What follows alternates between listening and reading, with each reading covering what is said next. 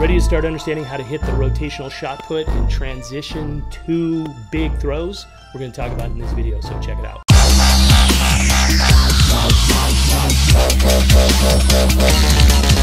Hey everybody, it's Eric Johnson from Arete Throws Nation. In today's video, we're going to go behind the scenes, another three-day training camp, and we're going to look at kind of some key tweaks start to finish. Devin Martin, he had come in, and we were looking at a few things. When we did day one, like you said, we've talked about before with the throwing chain reaction, we're going to plug every athlete in. We're going to evaluate and go through their progression. So first thing that we taught him, he was too far forward in his throw, which is going to make the reverse and the efficiency of the finish compromised. Second thing we look at is how we move into that. We're adjusting things things like the rewrap. And then when we went to the full throw, we're looking at the sweep action and how he's setting up his chain reaction. So the key thing here was that he tended to be too far, far forward. The rewrap was lacking somewhat and he would shift. And so we were trying to show him how that timing would work and how that would change. And that was a really key thing. And this was a good example with that rewrap. He's too active with the upper body and that had to tie into his sweep leg issue. And that was something that we figured out all these things in day one. So then as we plug them through his six pillars, in day two, we would start to apply the fixes and the changes. I, I that was a lot better.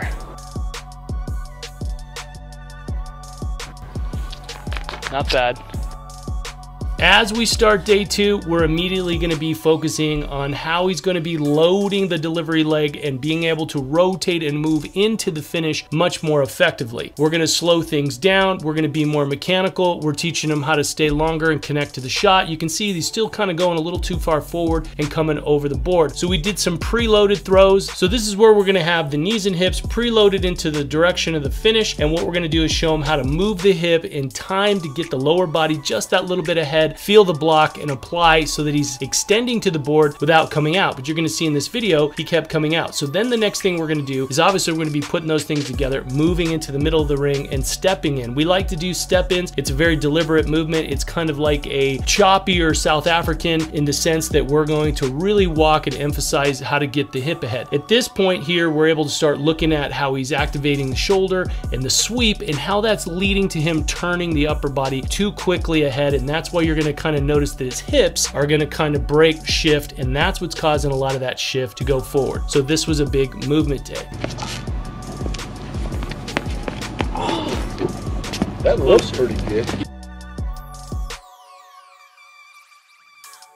Day three, we're gonna try to say we've got a ton to work on. He's got to go home. What's the game plan? And we're gonna put some final touches on the things that we address on day two and the mechanical day, and then we make it super rhythmical. We want to focus on the rhythm, put it together, make it fluid so that he can feel the difference, think about less, and apply. And that's the big difference here is that on day two, we're really being mechanical. Day three, again, we're really trying to include that more smooth, fluid motion. And so you're gonna see he's starting to move. You're gonna see that upper body kind of rolling. Again, that has to do partially with his sweep and a combination of how he's holding the left arm. So let's take a look at how it went over the course of three days. You're gonna again notice these subtle little changes. You're gonna notice that when he starts, he's gonna be creating a little bit different position. And in the mechanical day and the rhythmical day, because we were addressing the issues, we're seeing a lot more closer similarities. So as we break down the six pillars, you're gonna see these slight little shifts as he comes from here. Now he's starting to attack his sprint. So here you're gonna notice the subtlety of the block leg. It's a little closer, it's getting down a little faster and just allowing him to stay back and kind of square up and get into the throw a little bit better. And we're gonna compare first day thrower to a first week thrower to a multi-year 17-year-old uh, and a multi-year 18-year-old. And you're gonna see kind of the evolution and you're gonna see that they're all working on the same thing. So one of the things if you're new to the channel or if you're new to our IGTV is that the way we look at the throw here is is what we call as a throwing chain reaction system. We break the throw down into six pillars. The reason being is that the throw happens very quickly. Brand new thrower on day one, you're going to notice is going to be right around two seconds, and an advanced under 18 thrower is going to be throwing about one and a half seconds. And he's throwing around 70 feet, and the first thrower is throwing around 25 feet. Now, one of the things that we want to do is we're going to be looking at the throw in terms of because it happens so fast, was what we call our six pillars. We're going to look at basically the start and we're going to look at what each pillar does, right? Each pillar basically is a location in the ring. We have an objective. What are we trying to do at that point of the throw? And then we have positions to be able to achieve the, the objective. The first thrower up, we're going to look at young thrower. This was his first day. We're going to look at thrower number one, and we'll just quickly refer to these as one, two, three, and four. Kind of just let everything roll. You're going to notice again the speed of the throw. Again, the young thrower is the first day, so he doesn't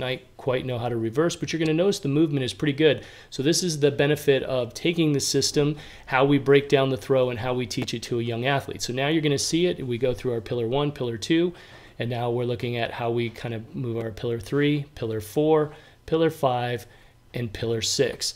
So let's look at how that throw looks when we break it down. So one of the first things that we want to do is we have to understand that setting up the throw is really critical and that's what we refer to as our pillar one position. As we've talked about with like the discus with the rotational shot, we still have to create separation and stretch reflex and one of the key things is that we're setting up this entry axis right? And so how we're going to be able to move around that. This thrower number two is only had just made the switch and been throwing for roughly about a week with the rotational shot. Now you're going to notice that as we move the athletes to what we refer to as our pillar two, you're going to notice that we're going to be talking about how we move around the axis. This is going to be the key, how we are going to be able to get the body around here. So the position of this hip and this shoulder, right, as we look. So if I look at thrower number four, we'll look at his entry side hip under the entry shoulder shoulder, we're going to notice these are the key things. You're going to notice this is one of the things that the new thrower had learned very well. You're going to see that thrower number one on his first day, right, he's got all the key concepts. So what we refer to on the first pillar is setting up the chain reaction. We're going to set up everything so the body reacts to be able to move into these positions a whole lot easier. Learning how to move the feet, the arms, coordinating the lower body and the upper body, these are the things that are very tricky for the athlete. Here, you're going to notice that thrower number one, in some ways, almost has a better entry hip than thrower number three, who's throwing multiple years. So this is where as the athletes are going to be getting older, thrower number two is the same thing, but it was again his first week throwing with the rotational shot, but hitting a very nice position and looking at where that hip is underneath that shoulder. So these are all some very good things. As we do this alignment, the point of this is that alignment is going to help you as a thrower move through. So what we want to do is make sure that you understand as you go from pillar one to pillar two, setting up maximum power is the goal, right? So we want to set that ability to create all that speed and balance, and that's what the, the object of our pillar pillar two. So pillar three is where we basically talk about how we're going to drop into the throw and apply speed. So we're going to drop in, we're going into the center of the throw towards the direction, the throwing direction, and we're going to be trying to increase as much speed and power as possible. Point here is we're going to be looking at counterbalancing. We have the sweep, we have the, the counterbalance arm. This is going to be real important to the rotational path into the center as you apply speed. And you're going to notice this thrower here has a really nice counterbalance system system, does thrower number three and number four. And so you're going to notice that our week one and our week two,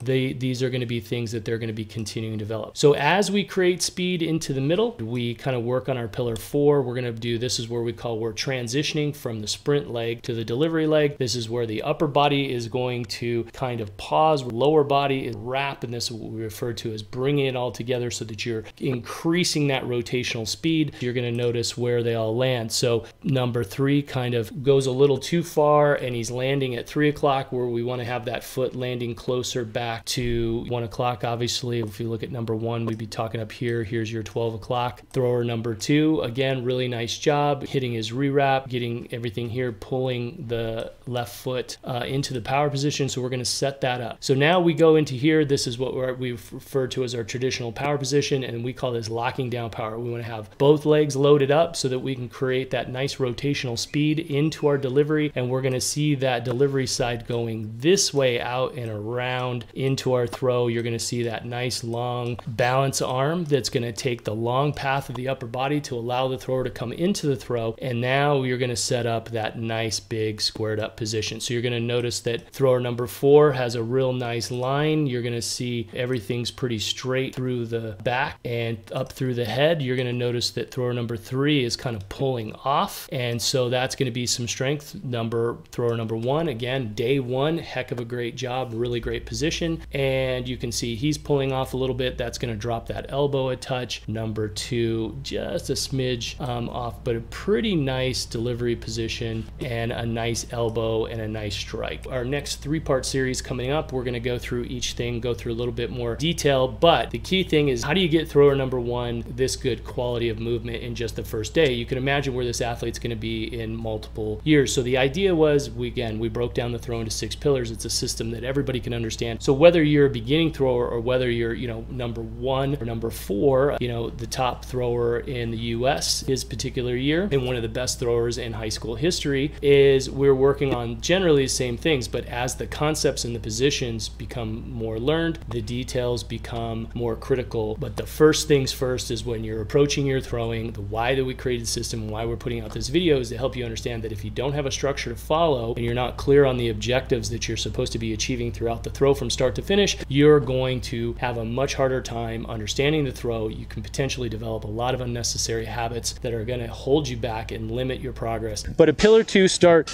is where we're going to set our throw. What we're going to do is squat straight down. We're going to turn this foot to about 45 degrees. We're maintaining the hips. So we hinge. Notice I don't turn the hips. And so what I do is I hinge to about 45. I bring the chest forward on an angle here. So I'm in that point of pillar two.